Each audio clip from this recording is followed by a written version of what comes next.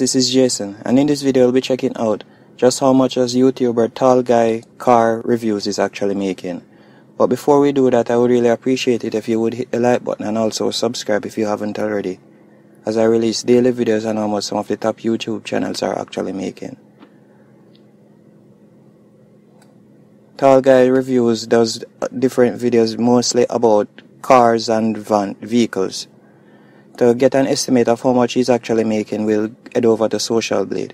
So far, he has uploaded 848 videos and has amassed a subscriber count of 698,000 and his video views is over 100 million and this channel was created back in October 31st, 2016.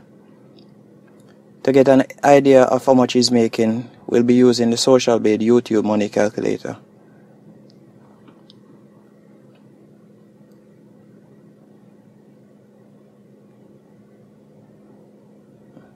Let me it in right here.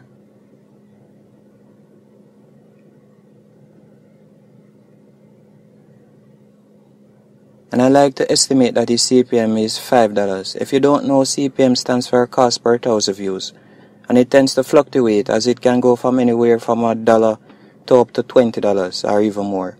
But the CPM all depends on the country that the viewer is watching it in and if the viewer actually ends up clicking on an ad.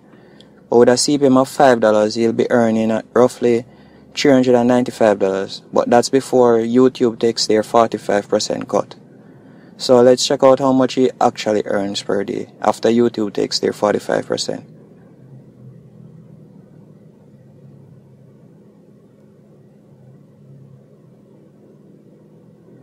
So YouTube would end up get $177 which would leave him off with $217 per day.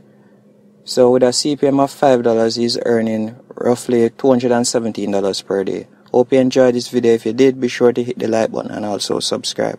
Thank you.